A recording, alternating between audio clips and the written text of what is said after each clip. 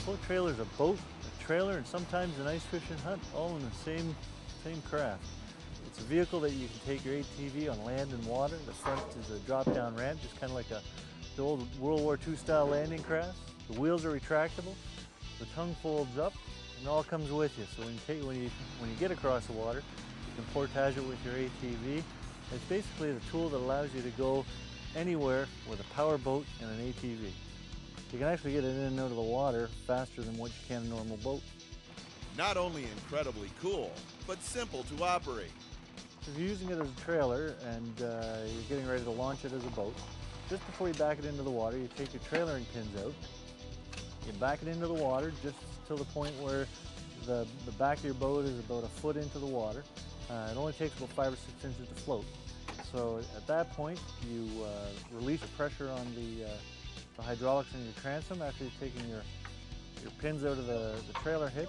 You climb into the boat, winch your wheels up. Crank is really easy. Close the, the doors that, that house the wheels, and you're ready to go. Simple as that. Simple as that. Now this boat will handle up to 1,500 pounds of payload. So that means we can put our four-wheeler on it, all our gear, us, and hit the trail. With a 30 horsepower motor, you can do about 22 miles an hour with a, with a moderate size load. Obviously, the more weight you put in it, you're going to sacrifice a little bit of speed. Uh, but you can take a, a large uh, ATV, obviously, as you see, you can take a full load of gear uh, and get from point A to point B in a hurry. It gets up on plane nice and easy. Uh, it's got a, a chamfer on the front that uh, helps it get up and over. Um, you know, the 30 horsepower motor's got, uh, got plenty of juice to get it to where you need to be. And best of all, this half boat, half trailer pulls like a champ. It's amazing. You know, I've towed it with small vehicles, big trucks. The trailer's, you know, true and straight and it can handle a decent sized load. It looks pretty funny, you know, everybody uh, turns and points and uh, it looks like you're, you're towing your boat backwards. Your motor's right near your uh, your bumper as opposed on the back end of the boat that like most people are are used to seeing.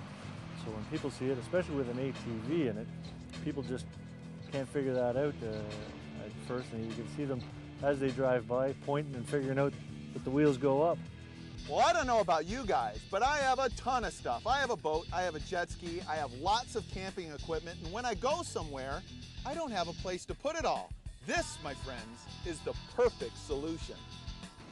It's like a James Bond boat for the average man. I mean, you can transform it in, in seconds, and you can use it as a trailer, you can use it as a boat, you can use it as your ATV carrier, you can, you know, for the, with, a, with a winterized version, you put a top on it and have the ice fishing ports. You can use it all year round. It's the only boat that you can use 12 months of the year. For more information about the float trailer, simply go to admiraldrive.com.